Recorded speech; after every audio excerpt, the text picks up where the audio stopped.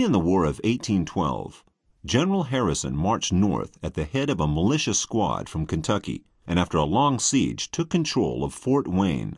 The British garrison put up a desperate resistance. Harrison's squad suffered heavy losses. The British soldiers possessed a much better military training than the American militia, but owing to their superiority in numbers and their perseverance, the American troops were able to force the British to leave the fort and retreat to the north.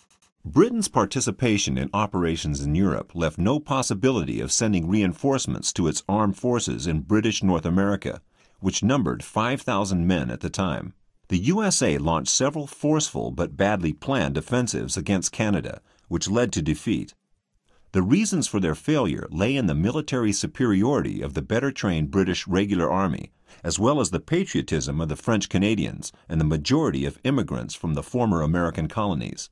Though in 1813 the Americans obtained control over the Great Lakes and plundered the fort of York, they failed to annex the Canadian lands. Tecumseh, who had fought for the British, died on the banks of Lake Ontario on the 5th of October, 1813.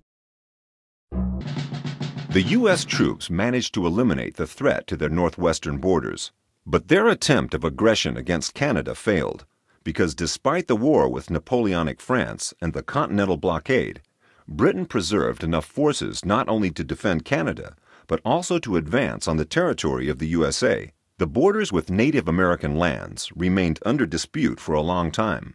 The tribes actively opposed the attempts of colonial intrusion into their territory. As a result of successful military operations, Britain acknowledged the sovereignty of the American colonies. In 1783, they were forced to sign the Paris Peace Treaty, according to which the United States obtained their independence. After the end of the war, George Washington was unanimously elected the first president of the USA. Washington took up the post on April 30th and was re-elected in 1792. Under Washington, the territory of the state expanded fast. As a result of a deal with Spain, the borders of the U.S. and Spanish colonies followed the 31st parallel, which created excellent conditions for the conquest of the Wild West. In 1791, Vermont, a new northeastern state, was annexed. Kentucky followed in 1792 and Tennessee in 1796.